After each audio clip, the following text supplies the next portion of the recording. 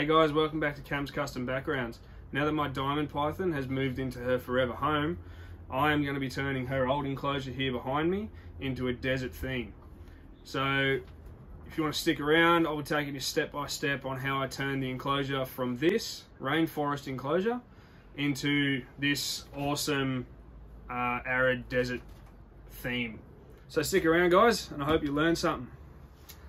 So I was supposed to get an enclosure in for friends of mine. Uh, they were couriering it down. That's the one I mentioned in the last video.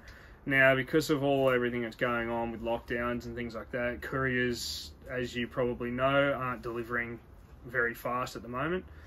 Um, so I thought, why not take this time to pull this one down and keep going. First step, I've got this branches and everything like that screwed in. They're all screwed in through the top. So I'm going to go ahead and take all them out, take the lid off, um, take this generic back wall out that I had, and also clean out all the substrate and give the entire tank a clean down with um, uh, probably metho or something like that to make everything nice and clean.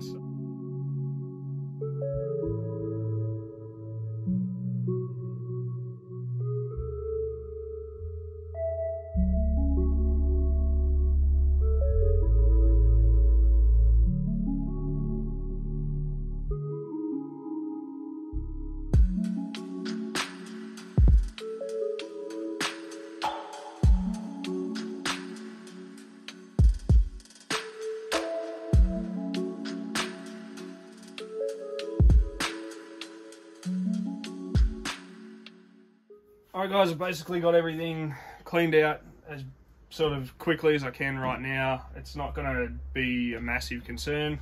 The glass is clean for anything to stick to it.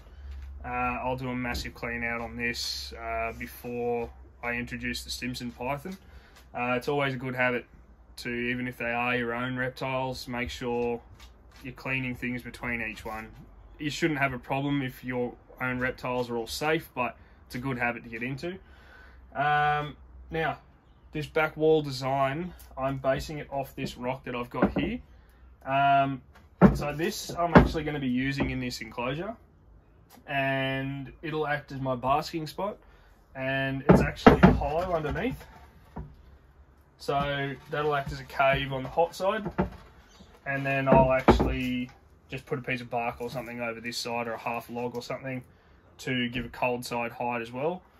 Um, but yeah, guys, we're ready to start throwing some stuff in here and making it look like some fake rock.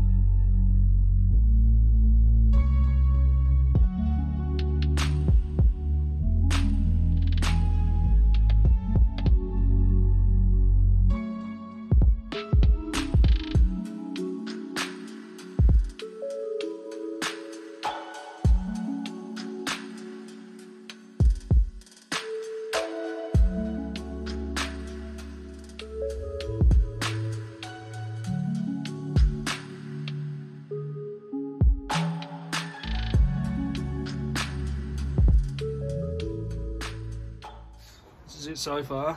Still got to do the top of that, behind that, but this right here is my little cave. I've gone and done a rebate in the top of that so that the actual join goes vertical rather than horizontal. Hopefully to try and take away sort of that look. And we have to try and hide that sort of stuff. So coming together pretty good.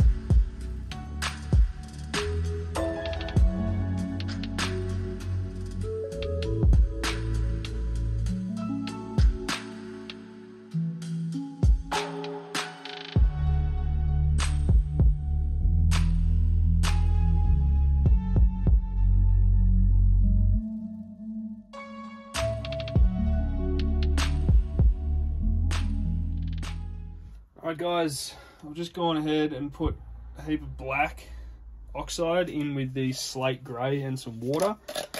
Uh, gonna mix that up and apply it to the internals of all of these deep cracks. Um, that'll allow me to get a bit more depth as I um, start doing the top coating.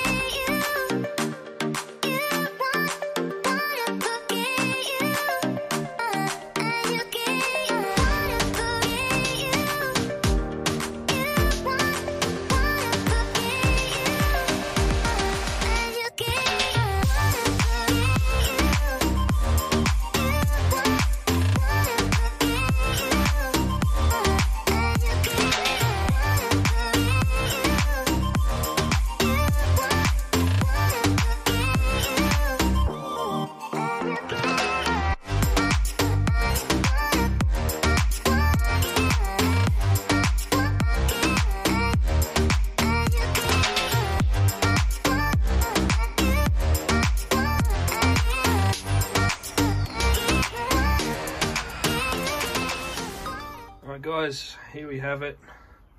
It's all been coated. Um, and I've gone through and done this bright orange in these crevices and stuff like that just to give it a bit more depth and texture as if something was you know broken off that point um, I've got my brushes my paints um, you can use any paints you can see here I've got various different brands um, here's my airbrush um, and some normal brushes. So I'll get you set up and throw a bit more paint at this and then we can uh, deck it out, finish it off.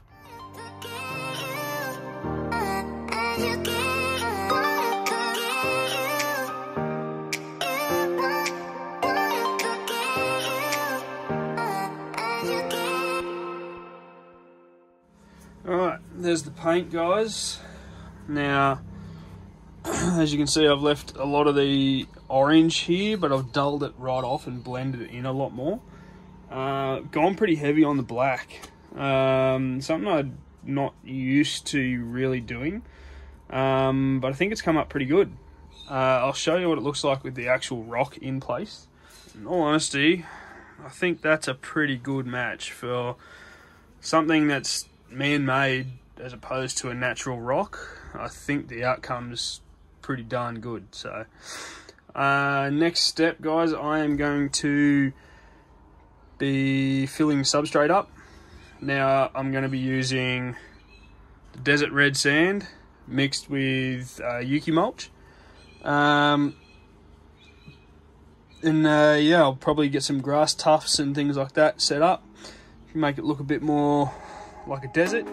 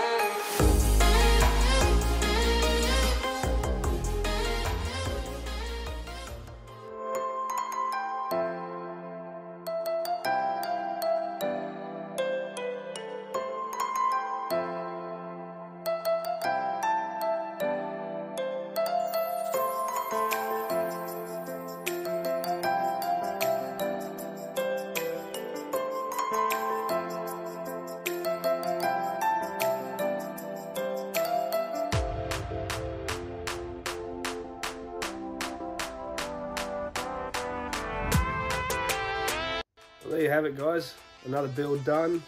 Another happy snake. Um, thanks for coming along for the ride. If you have any questions, anything like that, just hit me up on Facebook. Um, and I'll be happy to answer some questions and some tips if you want to have a crack yourself. Uh, there's another few in the works coming up, so yeah, stay tuned, guys, and I'll catch you on the next build.